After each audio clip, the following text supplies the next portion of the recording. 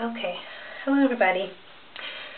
I'm back and I've been braiding my hair since about 9.45 this morning and it just turned 4 o'clock.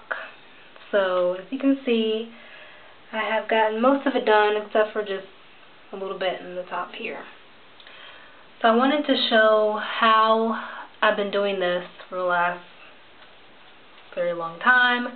So um, this is how I am doing this. So I make my part. You can see here I have a piece parted about this size, what I've been using. And what I do is take a little bit of my aloe vera gel, about that much, and just put it on the hair. Then I just comb out the end just a little bit.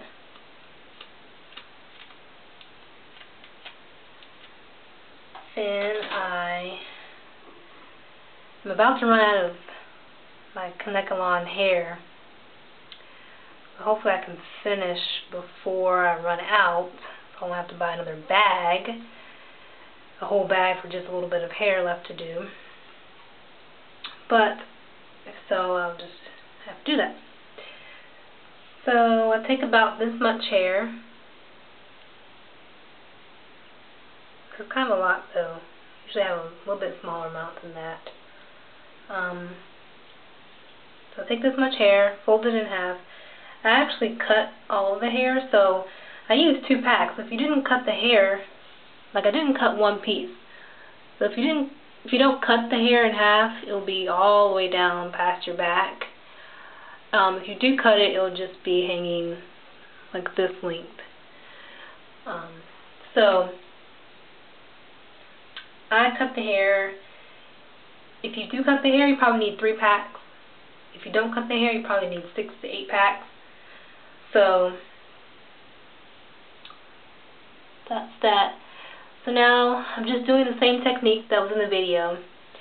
Folding the hair on top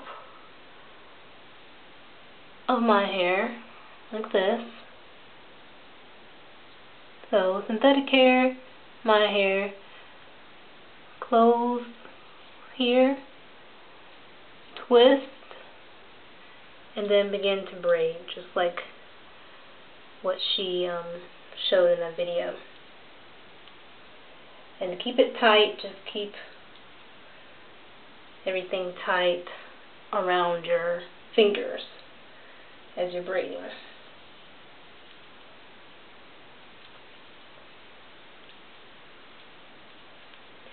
I'm not the best at doing this. This is my first time. So as you can see, my braids are a little wild hopefully if I do, excuse me, hopefully if I do the, um, this is the braiding technique here. And as you can see, it's not really that close to the scalp, which that's what I like. A lot of people that braid my hair love to put it really close to the scalp. Around the edges here, you can see it's really not that close to the scalp, which is best for me. And they're not coming out either. Um, so I just continue to braid this down until my hair ends, which my hair is pretty short, so this is about to end.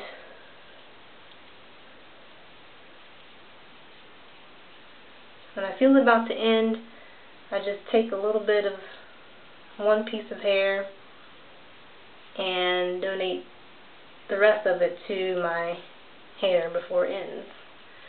So I can keep braiding or what I call plaiting.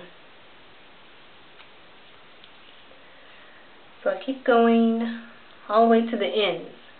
Now for the ends, I started putting rollers at the end, which I will do that.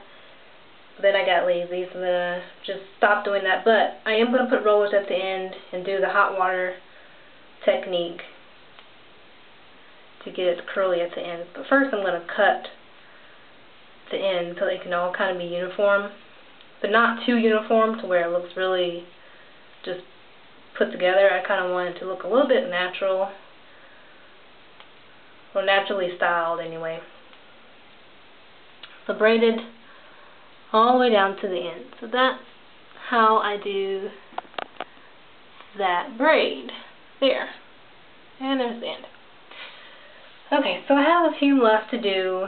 Hopefully I have enough hair to last this little bit. Um, so just wanted to show you that technique.